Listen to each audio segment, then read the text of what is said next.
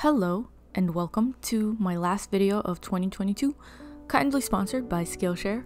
I hope everyone had lovely holidays with lots of relaxing and delicious food spent with friends and family.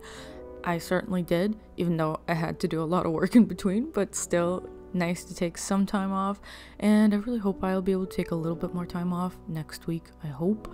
But anyways, uh, I absolutely love New Year. So happy New Year, everyone! I'm posting this at a time where hopefully it will be New Year shortly, so that um, it, this will make sense. And even though the illustration that I'm showing you here is, I suppose, more Christmas themed, actually, I where I grew up in Russia, um, we kind of celebrated New Year's a lot more than we did Christmas. Christmas was is still more of a religious thing, and I think it's celebrated in January from what I can remember. Anyways, the whole tree decoration thing and the presents and whatnot was actually more of a New Year thing, so I guess it still makes sense um, according to how I remember my childhood. But, anyways, yeah, I'll tell you guys more about the idea of this drawing a little bit later. As you can see, it's my characters. And yeah, I just wanted to chat for a little bit with you about just closing 2022 and what I'm trying or planning to do for 2023 and just, you know, kind of looking back and assessing my general progress and whatnot. So, yeah, as some of you may or may not know, I'm actually a big journaling enthusiast and I typically keep a bullet journal, uh, relatively custom. Although in 2022, I decided that sometimes, um, I, I decided that generally, I think uh, bullet journaling in a completely custom way uh, takes up a lot of time, and I wanted to try out using a very plain agenda, but that's like already um, charted out in, for weekly um, and monthly spreads, which is what I did. I'm trying to remember what brand I used, but I guess it doesn't matter. Um, just like a Korean agenda is one I used, and the whole year fit into one journal, and I did use it quite a bit, and it worked well, but I found myself missing doing everything manually and just like setting up the journal because I think in the end it ends up being so hectic without having any downtime if you just focus on work. So I think I'm gonna go back to doing like a manual bullet journal this year. Even though I'm already kind of late for setting it up, I should have set it up by now because um, January is coming so soon. But I'm hap- planning to just do it next week and hopefully, eh, it's still like good enough for me. I guess can't do everything ahead of time, as it turns out. But yeah, so, looking back on what I did in 2022, you know, at the end of the year, I always kind of assess the situation, and I'm always a bit sad that I didn't manage to launch my uh, comic, which is obviously a re- repeated occurrence that's happened for the past like few years. But I did make a lot of progress this year, a lot, way more than any previous year. And, you know, I'm trying not to get myself too down about the fact that I didn't manage to actually start my comic this year because I did come pretty close, and this was. Um, in retrospect, a very, very busy year for me. I actually did so many things and took many trips and got married. I had my wedding and I had like a wedding of a very close friend of mine and lots of other weddings to attend. I saw so many shows and I love music, so it was amazing to finally be able to see shows again after all the lockdowns and whatnot. So it was a super busy year, and I did do a bit of freelance, not too much, and I kind of came to the conclusion that, you know, actually, before making this um, voiceover, I watched my last year's end of year, I guess I posted at the beginning of January um, video, and I did talk about how I wanted to stop doing freelance completely. And obviously, I failed to do that because I did end up doing a bunch of freelance this year, but it wasn't too much.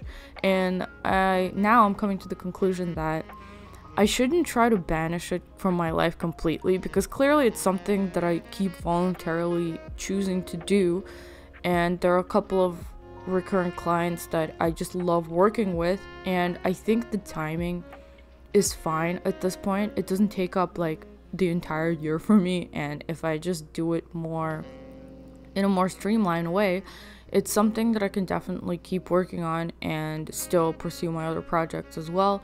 Because I feel like anytime that I've tried to cut off freelance completely from my life, I just kind of get super derailed. And freelance is good for organization. And I'll touch on that in a little bit. But first, let me just tell you real quick about this video sponsor, Skillshare. Skillshare is an online learning platform with thousands of classes on a huge variety of creative topics. It's a really fun platform you can browse to find ideas for a new hobby, and the classes are divided into short segments that make it super easy to follow. I especially like to browse for new classes around holiday time just to relax and learn something interesting. You really never know what you'll stumble across when browsing Skillshare, from creative cooking to journaling, all the way to like business advice or video editing tricks. There's a ton of classes. A very prolific teacher on Skillshare whose classes I like to check out is Gabrielle Brickey. She's got a ton of super useful classes on drawing, and I especially love the one called Learn to Draw Daily Practices to Improve Your Drawing Skills. If you're a beginner, or even if you feel like you need a quick refresher on the fundamentals, I'd highly recommend checking out this class because she does such a great job breaking down the most important aspects of learning how to draw. This is the type of stuff that's often overlooked by beginners but can make a tremendous difference in your art. And the best part is that you can watch this class absolutely for free. The first thousand people who use the link in my description will receive a one month free trial of Skillshare Premium. So I highly recommend Skillshare. It's an awesome community. So check out the link in my description. And now back to the video.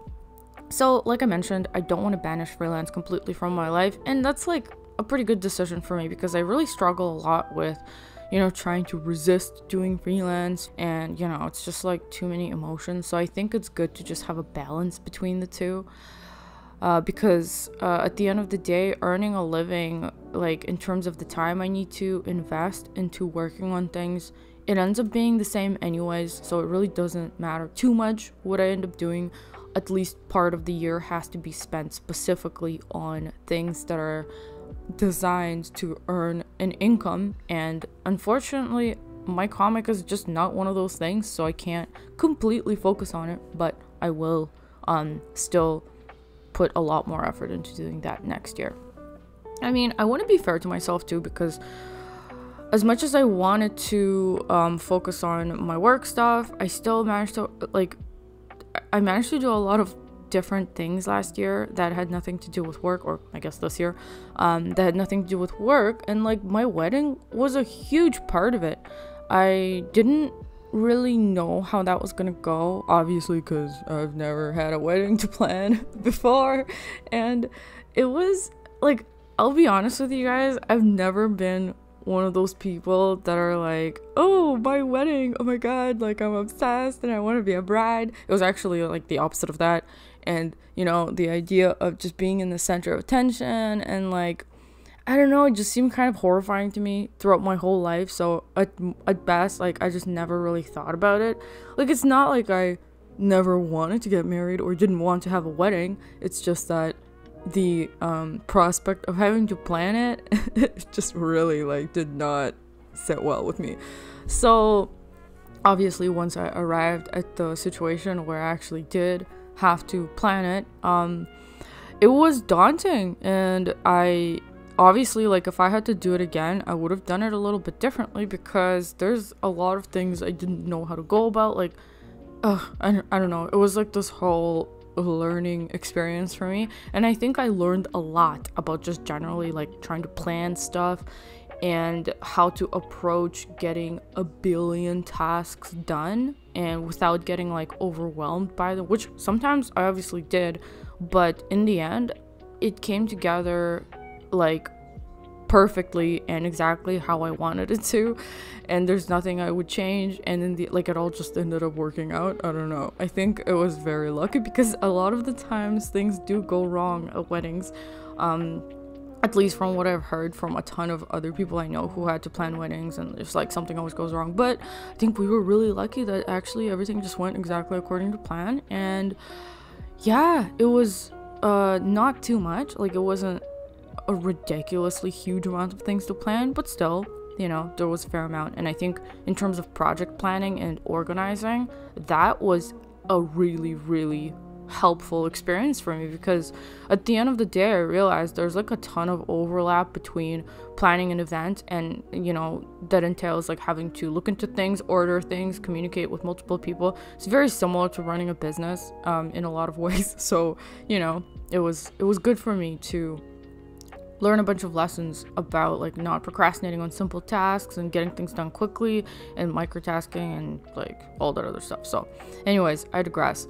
Oh, I guess another thing I wanted to mention is that yeah, as much as I said I I didn't really like I wasn't too keen on planning a wedding and was a little bit horrified about like being center of attention, which all ended up being wonderful. It wasn't like I don't know. It was a great time to spend with all the close people in my life. Uh, but I also actually felt a lot of dread towards like anything surrounding a wedding, like any of those other events, like a bachelorette party or like a bridal shower. Those also seemed like daunting as hell to me, and I was just like, man, I don't even know what to do about this stuff. I don't know who's supposed to plan it, like how how much involvement I should have in it, and it just felt so awkward to me. But honestly, at the end of the day, having my closest wonderful friends as my bridesmaids and having to spend a couple of times like dedicated to hanging out with them and I have a lot of friends that don't uh, that aren't super close with each other. So I have a lot of friends that are just kind of like separated. They do know of each other because we've known each other for such a long time, but it's not like we're a group or anything and having them all as a group in one place was just amazing. Like there's something I never even thought about before, but yeah, it was it was really great for everyone to just kind of mingle uh, for the first time in like 15 years because a lot of my friends I've had for a really long time and some of them are artists and actually one of them is Chris Hong Art. Um, she was one of my wonderful bridesmaids, but yeah, maybe at some point I'll actually make a video about this later to like commemorate or something. But moving on from all the wedding stuff, the other stuff that I managed to accomplish in 2022 was actually a ton. Something I didn't even realize up until I flipped through my journal. Obviously, a huge, huge accomplishment for me is the art book. Like, it's the best art book I could have possibly hoped for, and I can't wait for um, to actually get the physical copy of it. I believe it's currently being printed as we speak, um, and I'm hoping to get a physical copy hopefully in like February or something, so pretty soon. But yeah, that was huge, and I spent so much time working on the content for the art book, and it was just a lot, and it was 100% worth it. So that was a huge project and I did, like I mentioned, quite a bit of freelance, not too much, but just a couple of projects of medium size. And I'm really happy with the work that I produced for those. And at some point in the future, I'll be able to share it, which is also great. Um, unlike a lot of other freelance I did in previous years, which I was never able to share with anybody. But yeah, uh, so, anyways, all in all, just looking back at 2022, it was great. And circling back to Gloaming Vale, I did make so much progress and very happy about that. And I think I put in a lot of effort into YouTube as well. I'm really happy with how I was able to be more consistent, I think, this year. And I'm hoping for even more consistency for next year. And you guys probably know have noticed that I make different types of content and I think as a result, I kind of have different clumps of audiences within the people that watch my channel. Um, which is something I also actually really like. I don't want to make the same type of content all the time. I really love going back and forth between different things and trying out like different types of video series and whatnot and it's all great. I, I like experimenting with new stuff. So hopefully I'll be doing a lot more of that in 2023. I actually have a couple of ideas of new series I want to start, but I'm not going to talk too much about that. Uh, still going to figure out planning. Like one of my biggest hurdles that I have to solve in 2023 is how to have YouTube take up less of my time so that I can dedicate more of it to the comic cuz it is really difficult to post one video per week and do much of anything else at the same time. Um, if any of you guys have a YouTube channel, I'm sure you would know what I'm talking about. Obviously, like video production times, uh, vary greatly between uh, from person to person and i think i am a little like sort of on the faster side of things because obviously i don't put too much time into editing like i obviously i edit my videos and stuff but i don't have that much overlays or like any of the extra things or like subtitles or anything like that so my editing is very very straightforward and simple and so it's not too time consuming but still uh, it ends up taking too much of my week um, to the point where I find it really difficult to get other things done as well. So that's something I'm gonna have to fix in 2023.